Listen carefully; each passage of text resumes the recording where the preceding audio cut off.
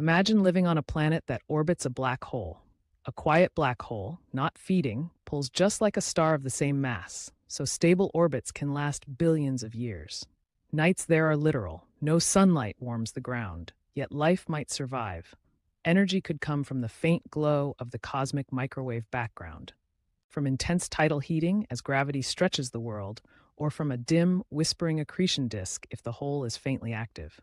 Simulations even hint at surreal time, hours passing on the planet while days slip by elsewhere, thanks to extreme time dilation near the black hole's gravity well. You would see a dark sky studded with warped starlight, and an uncanny horizon shaped by gravity. We haven't found such a world yet, but physics says they could exist, hidden in cosmic darkness.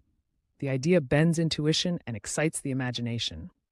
If that blew your mind, subscribe for more unbelievable space facts. The universe keeps surprising us always.